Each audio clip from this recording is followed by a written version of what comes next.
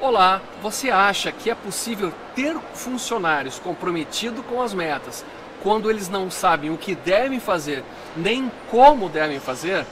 Aqui é o Ricardo Malei e nesse vídeo da série Como ter funcionários comprometidos com as metas, você vai compreender por que deve orientar primeiro e corrigir depois.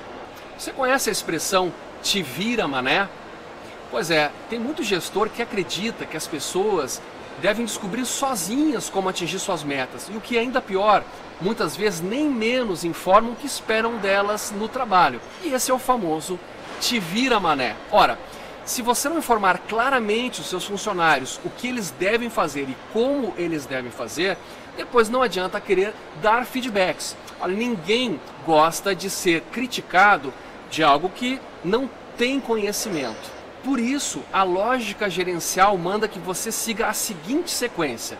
Primeiramente, estabeleça as metas, determine os métodos, coloque as pessoas certas no lugar certo, providencie treinamento, demonstre interesse pelo trabalho para somente então dar feedbacks.